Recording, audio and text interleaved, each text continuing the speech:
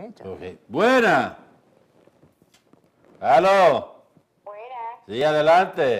Eh, Para una pregunta para el doctor. Sí, cómo no. Sí, doctor. Ujú. ¿Se puede hacer la cirugía de cuello sin ser la cirugía totalmente la cara, toda, sino solamente el cuello? Claro. y Los ojos. Claro que sí, lo que hay que determinar si, si con el- la cirugía de cuello aisladamente usted resolvería la apariencia general de su cara, porque a veces tiene el cuello de 30 años y la cara de 60 como que no combina. O sea que esto, la, la cirugía plástica no se indican, a veces el paciente entiende que lo que necesita es una cosa y cuando va al cirujano plástico se da cuenta que esto que, ellos- que él pensaba o ella pensaba no va a resolver su problema. Entonces, si se, está, se quiere tratar los ojos y el cuello, eso quiere decir que en el medio hay algún problema. Entonces hay que sopesar la conveniencia Ok, de lo hacerlo la- aisladamente o hacerlo combinado.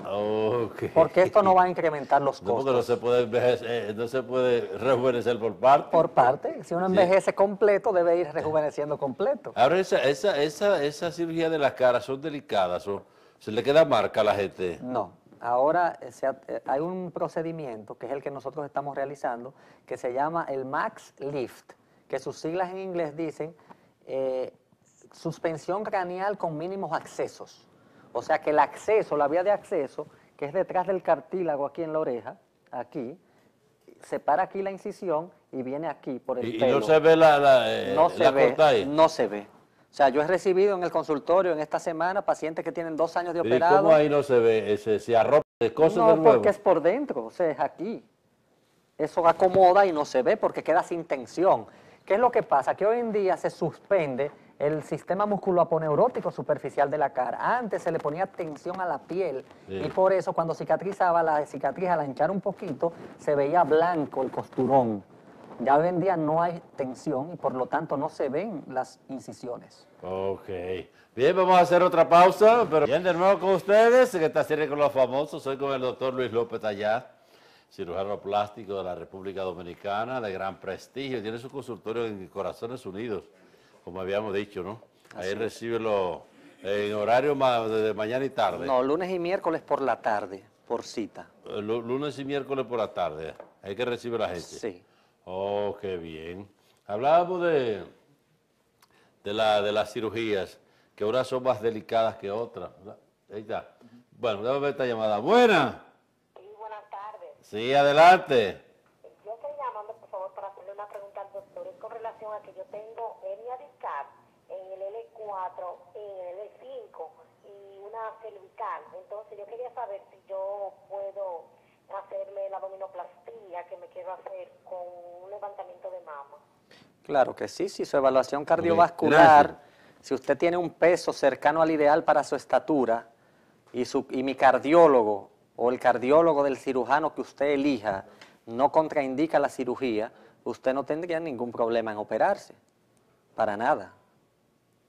O sea, es Oh. perfectamente viable. De- o sea que lo que ella quiere es posible. Sí, si está en su peso. O sea, si ¿A está... qué que en- le llaman peso? O sea, para cada estatura hay un peso ideal. Por ejemplo, una persona que mida 5'7", una mujer, vamos a decir, no puede pasar de 150 libras de peso para su estatura. Lo ideal es 125 a 140. Ok. Pero si tiene 150, Eso es si no es modelo, sí, no es modelo. Porque ¿Eh? la modelo tiene que pesar 120, 115. ¿verdad? Claro, Porque pero... ya con 150 una mujer como que se ve gordita. Sí, o a sea, menos que no esté bien distribuida, ¿no? Exacto, estoy hablando del común denominador del dominicano promedio. Claro, si es modelo, las modelos son eh, súper flacas. Sí, sí, súper delgada, pero aunque las de aquí nunca son tan delgadas, las modelos de aquí siempre tienen, Que Aquí se rompen los esquemas siempre. se rompen los esquemas. Hay eh, ahora mismo la, la mayor demanda de la cirugía, el, el en los hombres o en las mujeres. No, es la mujer, siempre ha predominado. Lo que sí ha ido aumentando paulatinamente al pasar de los años es la cantidad de hombres que recurren a un cirujano plástico. De hace cinco años, que no excedía de un 6%, hoy en día está en un 16, 17%. O sea que ha crecido. Claro, bastante, más del 3 veces. buena. Aló. Aló, Carlos Bautista, esta llamada de San Juan. Sí, adelante. Estoy pasando, siempre he hecho un programa. ¿Quería una pregunta al doctor? Sí. Qué bueno para la gente borrar la mente, que borra la mente. Oye, que no se olvida. ¿Qué? ¿Quiere borrar la mente? que se olvida, como que hace cosas que se olvida, es que loco. No, Ah, para recuperar la memoria. para recuperar la mente. Sí, Cuando, como a uno se, como cuando que se le va, se le va la mente. sí. Ok. Que no se olvida, que quiere hacer una cosa como que se le olvida. Bueno, usted tiene dos Oh. opciones. Usted compra una agenda. Gracias. Una Pero ya ahí. la cirugía plástica. Compra una agenda y lo anota.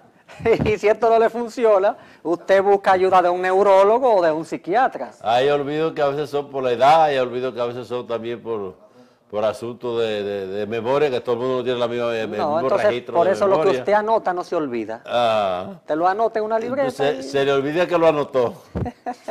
Buena. Buenas tardes, que es el hombre más caro de Latinoamérica. Aquí.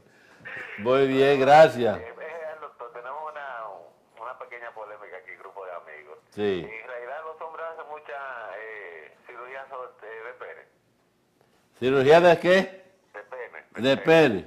Para ponerlo como. Eh, imagino que sería más grande. Ok, gracias.